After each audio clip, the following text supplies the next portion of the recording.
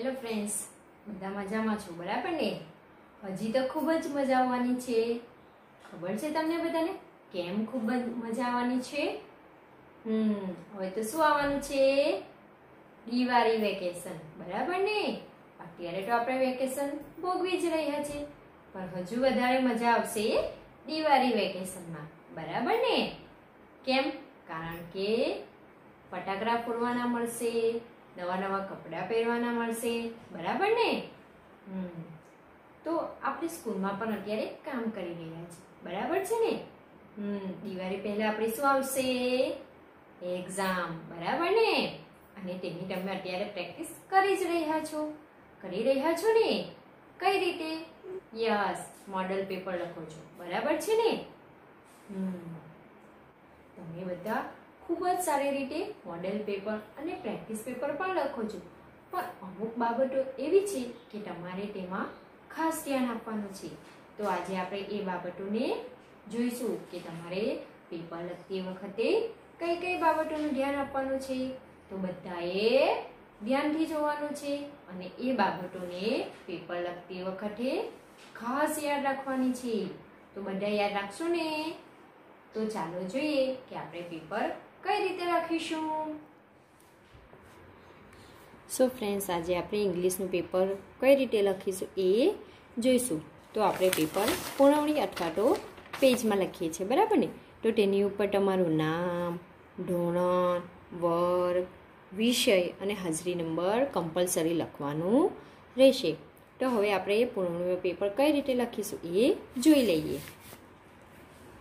તો આપણે સૌથી પહેલાં અહીંયા લખીશું ક્વેશ્ચન વન એ બરાબર ને?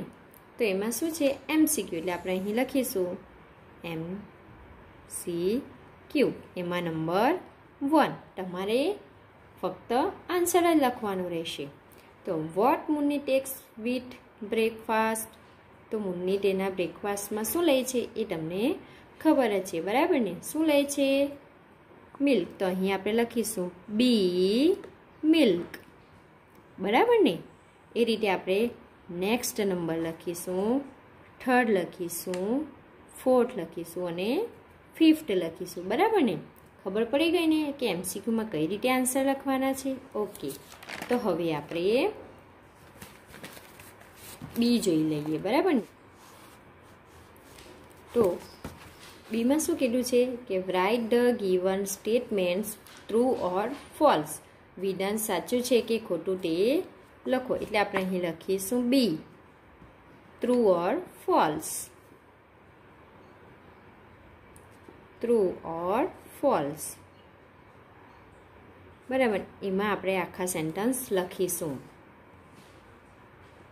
Rani is five years old એ રીતે આપણે number two, three, four and five બધાના સેન્ટન્સ લખી દઈશું અને આપણે અહીં જે આન્સર આવતું ટ્રુ આવતું હોય તો ટ્રુ લખીશું અને ફોલ્સ આવતું હોય તો ફોલ્સ લખીશું. એના બધા સેન્ટન્સ આપણે લખવાના છે.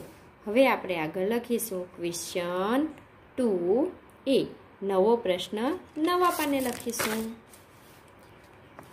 ક્વેશ્ચન ટુ એ તો એમાં શું કીધું છે આપણને કે find out the rhyming words from the given poem and write તો આમાં આપણે શું કરવાનું છે? આપણને અહીં એક કવિતા આપી છે. બરાબર છે ને? તો એમાંથી આપણે રાઇમિંગ વર્ડ શોધીને લખવાના છે તો એ કઈ રીતે લખીશું? એ આપણે જોઈ લઈએ.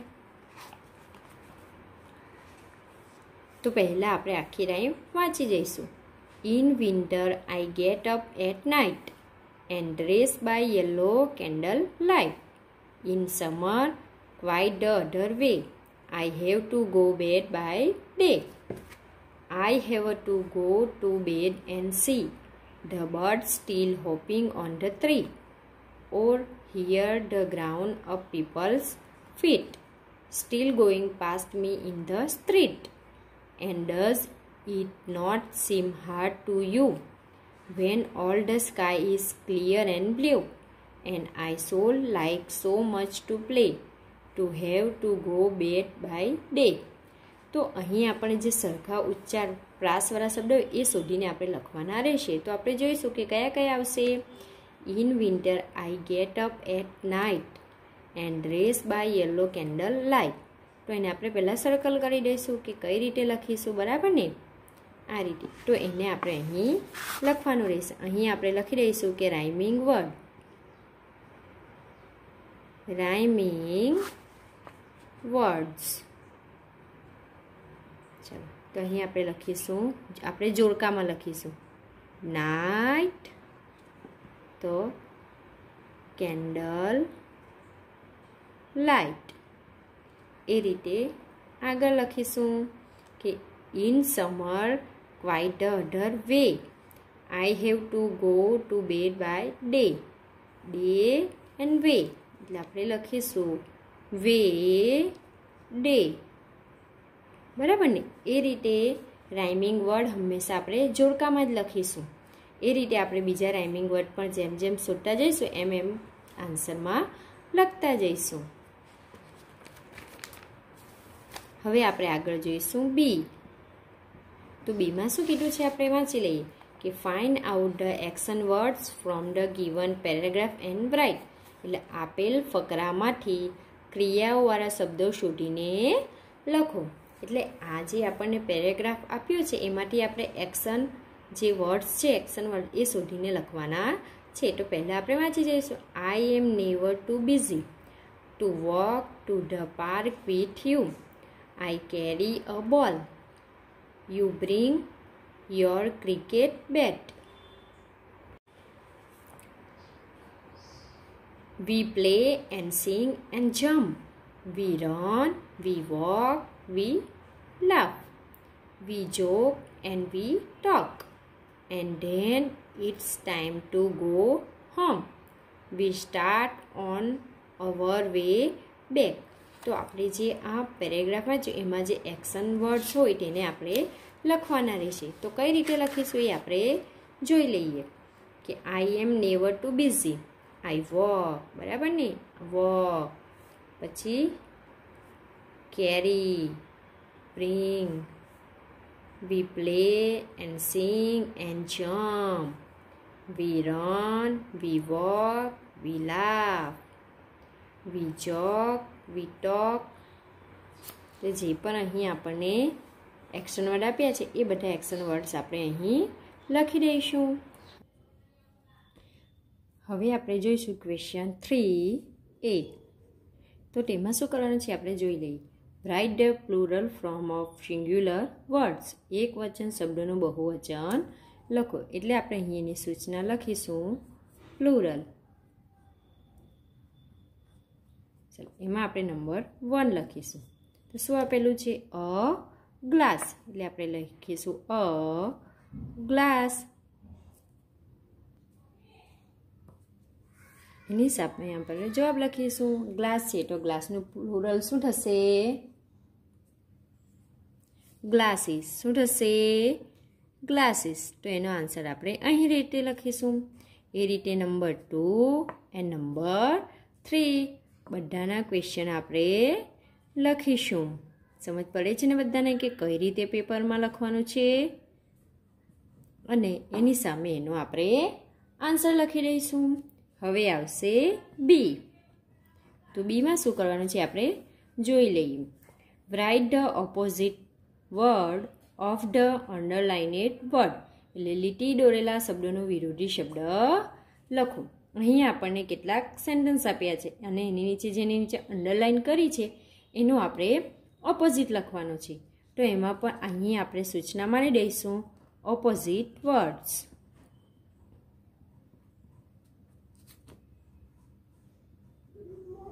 બરાબર ને?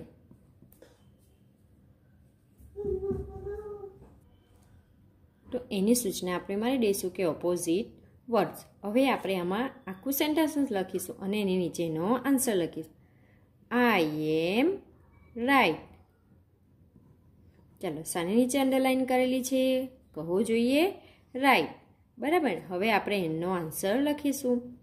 આઈ એમ તો જે રાઈટ છે તો રાઈટનું ઓપોઝિટ શું થશે? કહવું જોઈએ રોંગ અથવા તો બીજું શું થશે?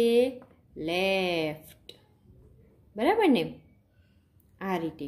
એટલે આ રીતે તમારે આખું સેન્ટન્સ લખવાનું રહેશે. એ રીતે નંબર ટુ એનો આન્સર અને એ રીતે નંબર થ્રી અને એનો આન્સર હવે આપણે આગળનું જોઈશું. હવે આપણે ક્વેશ્ચન થ્રીનો સી જોઈશું. એટલે આપણે અહીં લખીશું સી તો એમાં શું કરવાનું છે? એ આપણે જોઈ લઈએ. કે write the sentence who speak વાક્યો કોણ બોલે છે તે લખો. એટલે આપણે અહીં આખી સૂચના મારીશું કે write the sentence who speak બરાબર વાક્ય કોણ બોલે છે તે આપણે લખીશું. એ નંબર એક. આપણે એમાં આખા સેન્ટન્સ ઉતારી લઈશું. હી ઇઝ અ જુગલર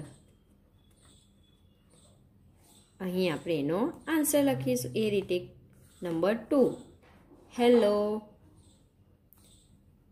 એની બડી ઢેર. અહીં એનો આન્સર એ રીતે number three A number four he is a juggler આ સેન્ટેન્સ કોણ બોલે છે? યસ, રહીમ. તો એનો આન્સર આપણે લખી દઈશું એ રીતે number ટુનો answer, number three and number ફોરનો આપણે આન્સર લખી દેવાનો રહેશે. હવે આપણે આગળનું જોઈશું. ક્વેશ્ચન ફોર એ ન્યૂ ક્વેશ્ચન છે એટલે ક્યાં આવશે? નવા પેજ ઉપર. નવો પ્રશ્ન છે એટલે આપણે લખીશું. ક્વેશ્ચન ફોર એ તેમાં શું કરવાનું છે? Complete the poem using the given options આપેલા શબ્દોની મદદથી કાવ્ય પૂર્ણ કરો. એટલે અહીં શું આપણે કમ્પ્લીટ પોયમ એટલે આપણે લખીશું complete the poem using the given option. બરાબર? તો એમાં આપણે જેના ઓપ્શન છે તે લખવાની જરૂર નથી. આપણે ડાયરેક્ટ રાઇમ લખીશું પોએમ લખીશું. I blanks you you are blanks એ રીતે આપણી આખી રાઇમને ઉતારી લઈશું. અને પછી જે બ્લેન્ક્સ છે, એમાં આપણે એના આન્સર લખી દઈશું. Your blank is are you blanks green and say me and blanks. બરાબર ને? આ રીતે આપણે આખી રાઇમ લખી દઈશું અને પછી એના આપણે આન્સર અંદર ફિલ કરી દઈશું. અહીં શું આવશે કહો જોઈએ? આઈ નો. બરાબર. એ રીતે પછી યુ આર જે આન્સર આવતા એને વન બાય વન આપણે ફિલ કરી દઈશું. હવે આપણે જોઈશું બી તો બીમાં શું કરવાનું છે? એ જોઈએ. ફિલ ઇન ધ બ્લેન્ક્સ એટલે કે ખાલી જગ્યા પૂરો. એટલે આપણે અહીં લખીશું. ફિલ ઇન ધ બ્લેન્ક્સ બરાબર ને? અહીં આપણે બધી ખાલી જગ્યા લખી દઈશું. Go and blanks near the door અહીં આપણે એના જે ઓપ્શન આપે છે એ લખીશું ને. આપણે જે બ્લેન્ક્સ છે ઇન્ડિયર આપણે ડાયરેક્ટ આન્સર લખી દઈશું. તો શું આવશે? Go and blanks near the door અહીં આપણને ટુ ઓપ્શન આપ્યા છે. સ્ટેન્ડ એન્ડ સીટ તો શું આવશે? સ્ટેન્ડ બરાબર ને? એ રીતે number two and number three બરાબર ને? હવે આપણે ક્વેશ્ચન ફોરનો સી લખીશું. તો સીમાં શું છે? કે write the answer to given question એટલે કે આપેલા પ્રશ્નોના જવાબ લખો. તો ક્વેશ્ચન તો આપણને અહીં આપી દીધા છે. એટલે ફક્ત આપણે એના આન્સર લખીશું અને અહીં લખી દઈશું. ક્વેશ્ચન આન્સર બરાબર. અહીં આપણે આન્સર નંબર વન તો આન્સર વન કયો છે કે વેર ઇઝ ધ ફેર તો એનો આન્સર આપણને આવડે છે. આપણે લખીશું. The fair is in Bakshipur. બરાબર. એ રીતે આપણે અહીં લખીશું answer two. Answer three. And answer four. તો તમને ખબર પડી ગઈ ને કે પૂર્ણવણી અથવા તો પેજમાં આપણે આન્સર કઈ રીતે લખવાના છે? તો લખશો ને બધા આ રીતે? ઓકે.